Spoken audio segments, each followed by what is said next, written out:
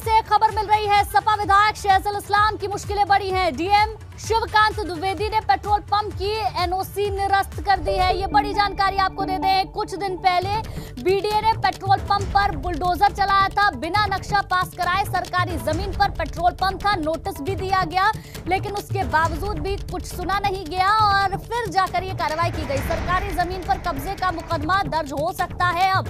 पूरी जानकारी आपको दे दें, सपा विधायक शहजुल इस्लाम जिनके खिलाफ लगातार कार्रवाई चल रही है, जो अवैध निर्माण है, उस पर बुलडोजर चलाया गया है। अब डीएम शिवकांत द्विवेदी ने पेट्रोल पंप की एनओसी निरस्त कर दी है। कुछ दिन पहले बीडीए ने पेट्रोल पंप पर बुलडोजर चलाया था। बिना नक्शा पास कराए सरकारी ज़मीन पर पेट्रोल पंप बनाया गया था, जिसके बाद पेट्रोल पंप को ध्वस्त कर दिया गया था, बुलडोजर चलाया गया था। सरकारी ज़मीन पर कब्जे का मुकदमा दर्ज हो सकता है। शहजुल इस्लाम के ऊपर उनकी मुश्किलें बढ़ सकती हैं।